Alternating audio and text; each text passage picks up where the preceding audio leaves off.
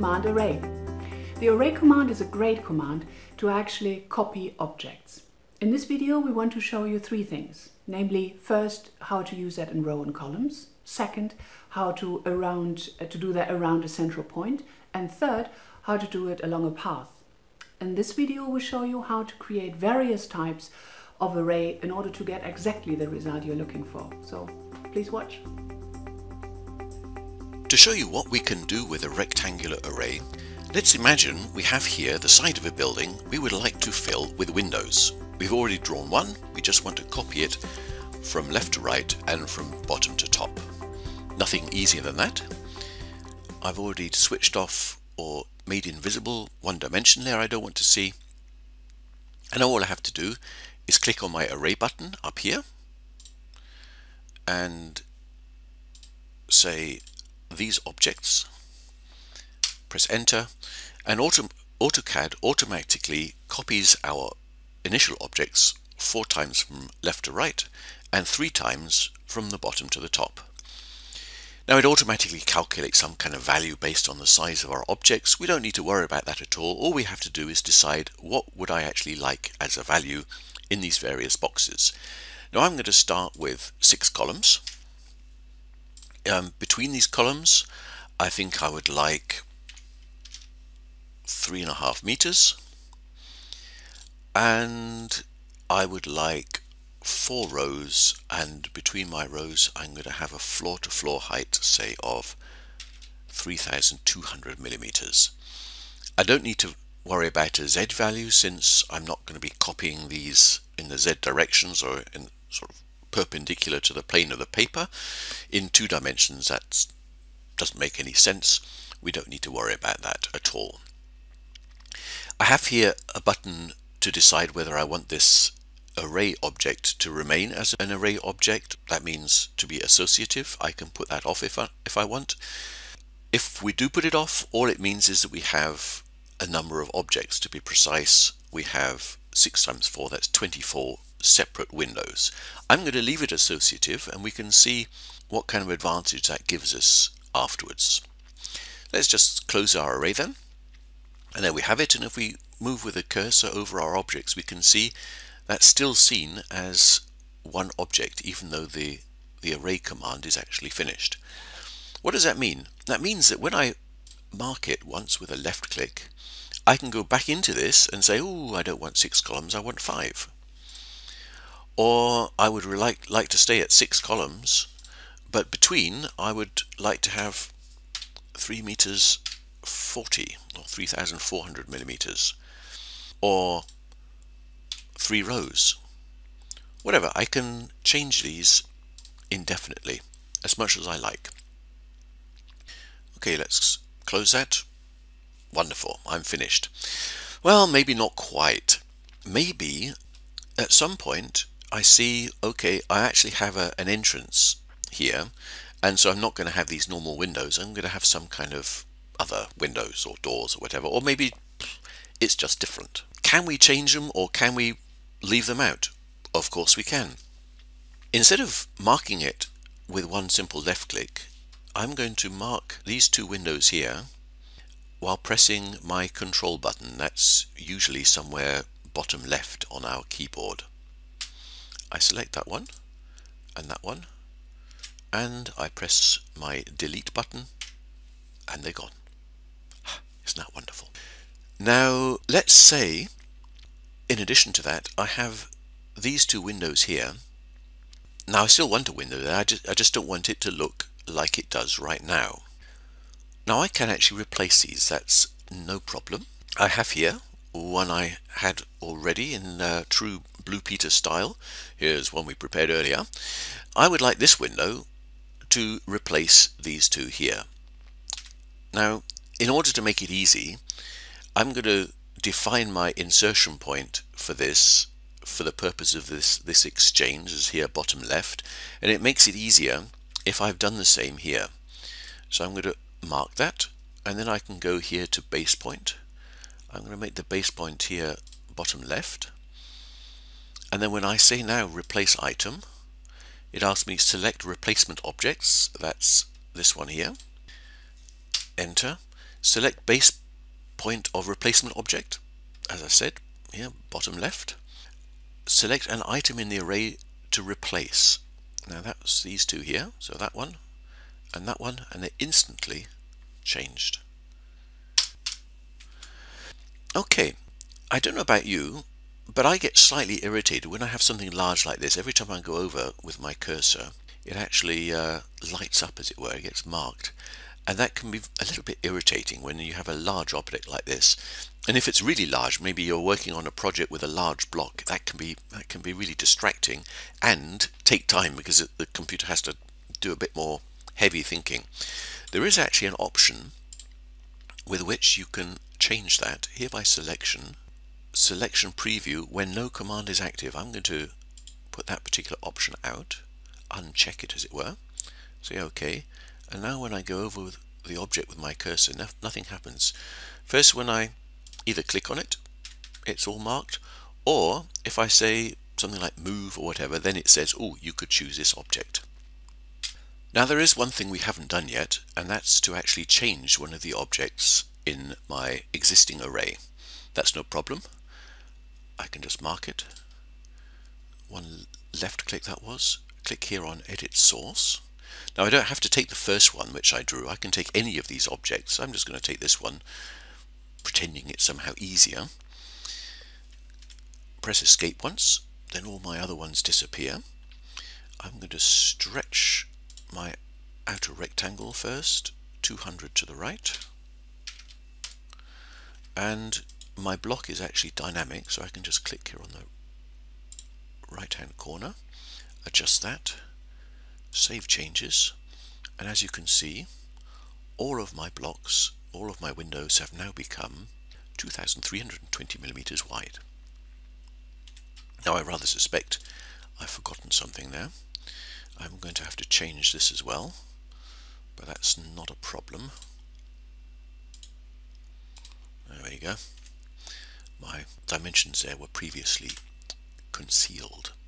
One last thing when it comes to changes if I mark this we see here this option reset array. That means I can basically restore it to factory settings. So how it was before I eliminated these two objects and replaced these two. So that's pretty much it as far as rectangular arrays go. The only thing perhaps which remains to mention is if I actually just want single objects, nothing simpler than that. I could, for example, just click here on explode, tack boom, as they say, and there I have all of my elements as individual elements again. The second array command we want to talk about is a polar array. That means copying objects around a fixed point.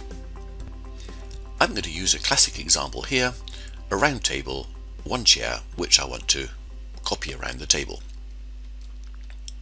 I call out my array command, click there to go through the options, there it is, polar array.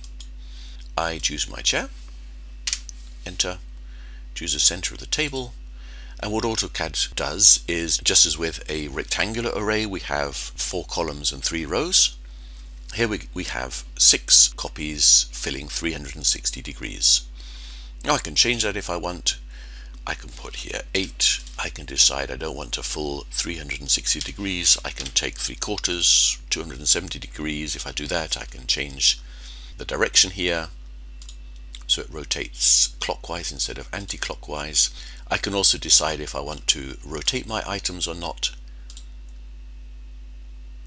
No problem, just click through those as I want. I can decide to have it associative, that means that it will remain as an array object after I'm finished, or not, which would mean I would just have separate objects which I've copied here.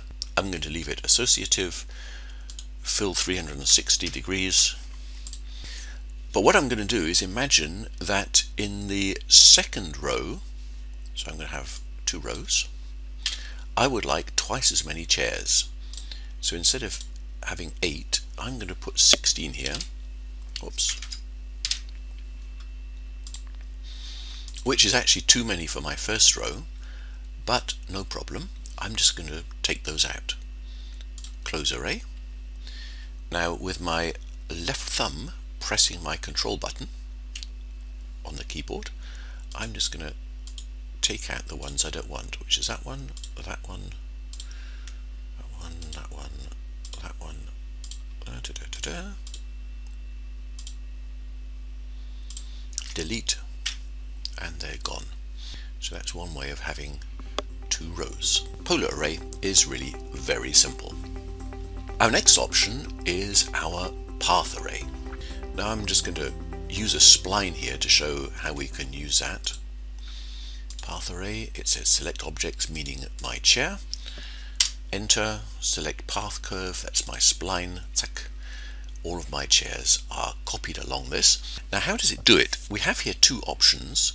If I look here to measure, I can change that to divide. Now what is actually meant is that measure will copy these objects with a fixed distance, a measured distance, which I can adjust here. I could put it up to a, a thousand millimeters, for example.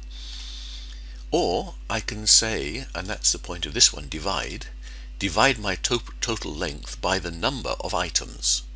So I could say here, I don't want 16, but I would like 20 chairs. And then it divides up my line by 20 or 22 I can just adjust that until I'm finished. I can of course add extra rows or add extra things in the Z direction. I can change the tangent align items or not and so on. Now for a lot of practical purposes this isn't really very useful because as soon as my curve gets a little bit narrower, the distance between my objects changes. Why is that? Well, it's because what our AutoCAD does is measure the length of line which there is between the objects. So if the line has a very tight curve to it, then the, the distance in terms of this, the straight line distance between my objects is of course a lot smaller. And if you're wanting to distribute objects with a fixed measured length, then this isn't really a great help. But one thing I have used it for is the following circumstance. I have here two walls, and between these two walls there should be some kind of a window element or a facade element. I've already put in my profile, and I've drawn here a construction line. This construction line goes from the axis line of this particular profile to an equivalent distance from my other wall. So what I can do now is select my path array, select objects is of course my window profile, path curve is of course that line. I want to have these according to divide. I think in fact 21 items is a little bit exaggerated. I'll see how 6 works out and I have a distance between them of 772 let's try with 5 yeah that looks that looks fine close array I'm going to say I have no need of this particular profile here so I'm going to mark that with control pressed erase.